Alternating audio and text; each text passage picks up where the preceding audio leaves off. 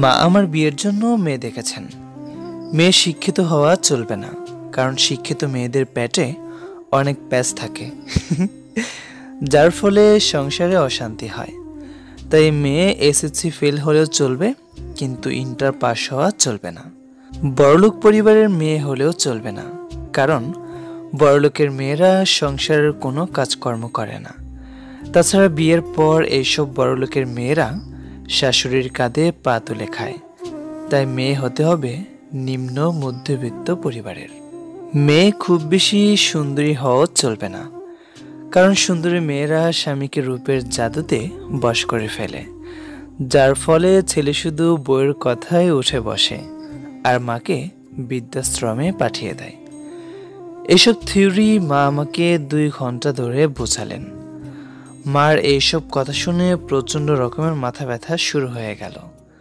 আমি নিজের মাথার চুল নিজে টানতে টানতে বললাম, মা, তুমি যে মেয়েকে বিয়ে করতে বলবে, আমি চোখ বন্ধ করে সেই মেয়েকেই বিয়ে করব।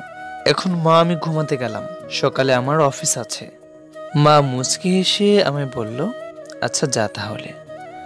ঘুমে যখন চোখটা লেগে আসছে, তখনই আমার ফোনের স্ক্রিনের আলোটা জ্বলে উঠল।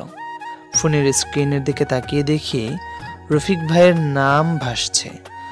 আমি ঘুম ঘুম চোখে ফোনটা রিসিভ করে কথা বলতে লাগলাম। পরের দিন সকালে আমি এক মনে খবরের কাগজ পড়ছি আর নাস্তা করছি।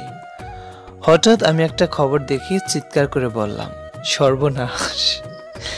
আমার চিৎকার শুনে মা রান্নাঘর থেকে দৌড়ে এসে বলল, কি হয়েছে? আমি মাকে বললাম পুত্রবধূর ভুলভাল ওষুধ খাওয়ানোর ফলে শাশুড়ির মৃত্যু। মা পাশের চেয়ারে বসতে বসতে অবাক হয়ে বলল মানে? আমি তখন নিউজটা পড়তে শুরু করলাম। নেত্রকোনা জেলার সালমা বেগম তার একমাত্র ছেলেকে পাশের গ্রামের হাসেম ব্যাপারীর মেজ কন্যার সাথে বিয়ে করান। গতকাল দুপুরে সালমা বেগম হঠাৎ অসুস্থ হয়ে গেলে ছেলের বউ ওনাকে নিয়ে হাসপাতালে যান।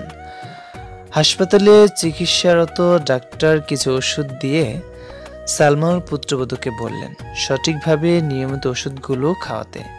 পুত্রবধূ কম শিক্ষিত থাকার কারণে ডাক্তারের প্রেসক্রিপশনের লেখা বুঝতে না পেরে শাশুড়িকে ভুল ভালো ওষুধ খাওয়ান, যার ফলে শাশুড়ির মৃত্যু হয়। মা কপালে হাত দিয়ে কি যেন ভাবতে লাগলেন। আমি তখন বললাম, মা, আমি আসি। আমার অফিসের দেরি হয়ে যাচ্ছে। আর পত্রিকাটা নিয়ে যাই।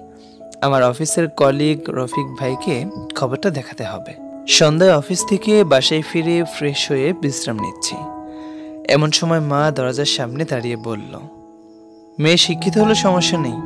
সব শিক্ষিত মেয়ে তো আর খারাপ না। তাছাড়া মা শিক্ষিত না হলে ছেলে মেয়ে মানুষ করতে পারবে না। আমি তোর জন্য শিক্ষিত, নিম্ন মধ্যবিত্ত, কালো একটা মেয়ে খুঁজে বের করব। আমি মুচকে এসে বললাম, ঠিক আছে মা, আমি তোমার পছন্দের মেয়েকেই বিয়ে করব। পরের দিন সকালে নাস্তা করার সময় পত্রিকা দেখে আবার চিৎকার করে বললাম, সর্বনাশ।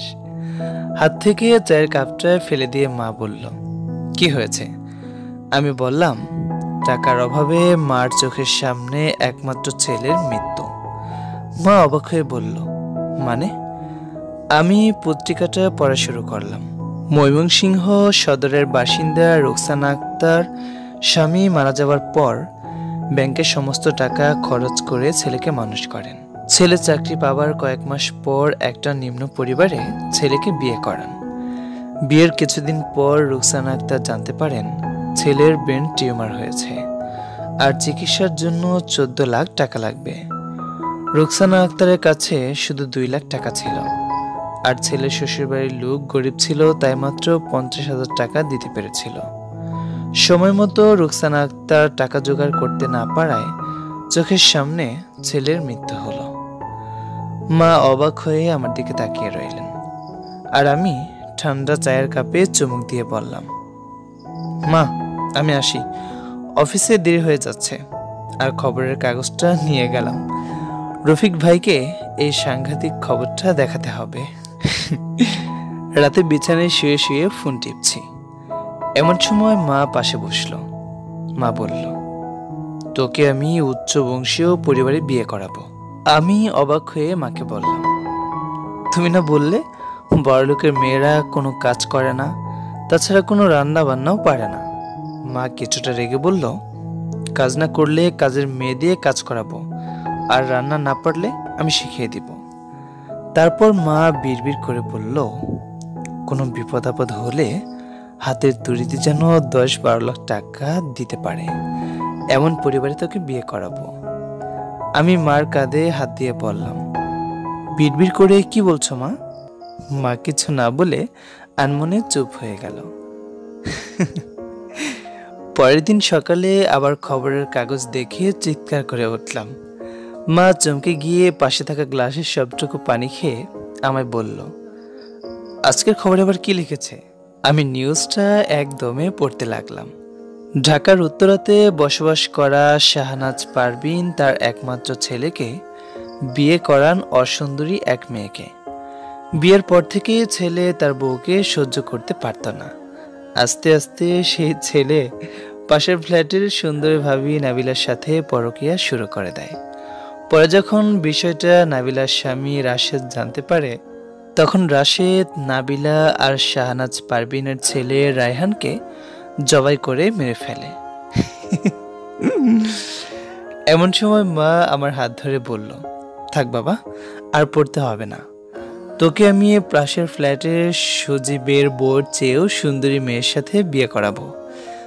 আমি অবাক হয়ে বললাম, কিন্তু মা মা রাগে চোখে বলল কোনো কিন্তু না। আমি এমন একটা বউ চাই যার রূপের আলোতে আমার ঘর আলো হয়ে থাকবে। আমি পত্রিকাটা ব্যাগে ঢুকিয়ে মাকে বললাম, মা, আমি যাই। আমার অফিসের দেরি হয়ে যাচ্ছে। আর এই গুরুত্বপূর্ণ সংবাদটা রফিক ভাইকে দেখাতে হবে। রিক্সায় বসে থেকে রফিক ভাইকে ঢেকে বললাম, ভার্সিটিতে যাবেন বুঝি? আসেন আপনাকে ভার্সিটিতে নামিয়ে দেই। তা আপনার বাবার কালো মুড়ির টিনটা হাসপাতালে ভর্তি নাকি? রিক্সায় বসে শ্রাবণী রাগে লাল হয়ে বলল আর একবার রফিক ভাই বললে ঘুষি মেরে তোমার নাক ফাটিয়ে দিব। আর শোনো আর যদি কখনো আমাদের গাড়িটাকে মুড়ির টিন বলছো তাহলে তোমার খবর আছে। আমার বাবা চাইলে এই মুহূর্তে তিনটা গাড়ি কিনতে পারে। কিন্তু এই গাড়িটা দাদার স্মৃতি বলে বাবা গাড়িটা পাল্টায় না। আমি মুচকি হেসে বললাম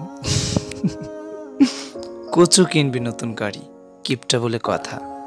শ্রাবণী আরও রেগে গিয়ে বলল একদম বাবাকে কিপটা বলবে না। তুমি কি? তুমি এক নম্বরের মিথ্যাবাদী। প্রতিদিন সকালে নিজের মাকে উল্টাপাল্টা খবর শোনাও। আর চার বছর ধরে প্রেম করো অথচ মায়ের ভয়ে নিজের প্রেমিকার নাম রফিক ভাই লিখে সেভ করে রাখো। শ্রাবণীর কথা শুনে আমি মন খারাপ করে বললাম একে বলে যার জন্য করি চুরি সেই বলে চোর। শ্রাবণী আমার দিকে তাকিয়ে মুচকে হাসি দিয়ে বলল কালকের খবরের কাগজে কি লেখা থাকবে?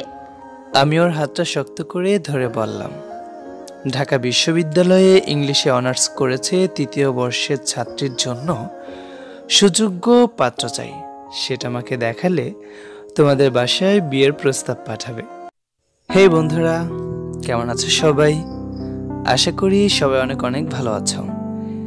কিছুদিন যাবৎ কেউ একজন বারবার কমেন্ট করছে, আমি যেন ভিডিও শেষে, হে বন্ধুরা, এই ডায়লগটা দেই বা এই কথাটা বলি। আসলে এটা অনেকদিন ধরে বলা হয় না। তো সবাই কেমন আছো কমেন্টে জানাও। আর আমি তো ভালোই নেই, কারণ জানোই তোমরা। তো যাই হোক, আজকের গল্পটি কেমন লেগেছে সেটাও কিন্তু কমেন্ট করে জানাবে।